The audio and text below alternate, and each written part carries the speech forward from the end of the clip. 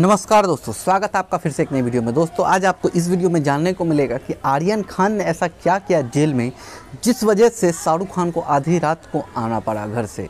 दोस्तों, आप लोगों ने देखा कि कई बार मशक्क़त करने के बाद, चाहे वो शाहरुख खान के वकील हो, चाहे सलमान खान ने जो वकील दिया था, अमित देसाई, वो हो कई बार इन लोगों ने बेल के लिए ट्राई किया, लेकिन हर बार बेल को रिजेक्ट कर दिया गया। लेकिन अब अगली सुनवाई जो है, वो 20 अक्टूबर को होने वाली है। तो 20 अक्टूबर को सुनवाई में हो सकता है कि ज़मानत मिले या ना मिले, ये तो आने वाला वक्त ही बताएगा। लेकिन एनसीबी जो है, इस केस में पूरी तरह से सिकंजा कसते नज़र आ रही है। बता दूँ आपको कि इसका जो लिंक बताया जा रहा है, इस केस का, वो एक मतलब विदेश से भी लिंक किया गया। इस वजह से विदेश मंत्रालय से ऑफिशियली परमिशन लेने की कोशिश की जा रही है एनसीबी की तरफ़ से और कहा जा रहा है कि विदेश मंत्रालय जो है, वो जल्द से जल्द उन लोगों की हेल्प कर सके, मदद कर सके, ताकि ये जो गिरोह है, इसको पकड़ा जा सके। तो एनसीबी पूरी तरह से लगी हुई है और रही बात जो आर्यन की जमानत की, वो फ़िलहाल 20 अक्टूबर को फिर से सुनवाई होगी और देख, देखा जाए कि क्या होता है। लेकिन फ़िलहाल अभी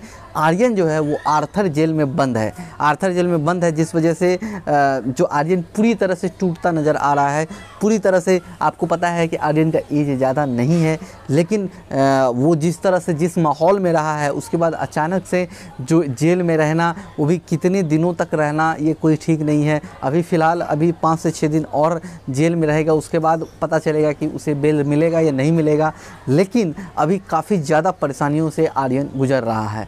और देखा जाए कि जेल में जिस तरह के माहौल होते हैं, वो बिल्कुल भी नहीं जानता कि इस तरह के माहौल में किस तरह से सर्वाइव किया जाता है।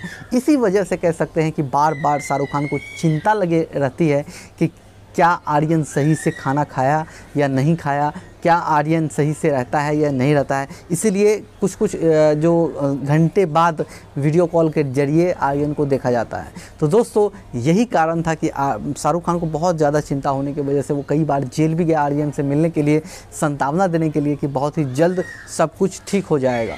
लेकिन पता नहीं ये कब ठीक होगा, क्या ठीक होगा, कैसे अपडेट मिलता है। लेकिन फ़िलहाल बीस अक्टूबर तक तो आर्यन जेल में ही रहेगा। और देखा जाए कि अब आने वाले वक्त में, आने वाले सुनवाई में क्या होता है। जो भी होगा, पूरी जानकारी आपको हमारे वीडियो के माध्यम से सबसे पहले आप तक पहुंचेगा। तो हमारे चैनल को ज़रूर से ज़रूर सब्सक्राइब कर ले नोटिफिकेशन की घंटी बजा देता ताकि आने वाला वीडियो सबसे पहले आप तक पहुँच सके। मिलते हैं एक नई वीडियो में एक नई अपडेट के साथ। तब तक के लिए आप खुश रहिए, सुरक्षित रहिए।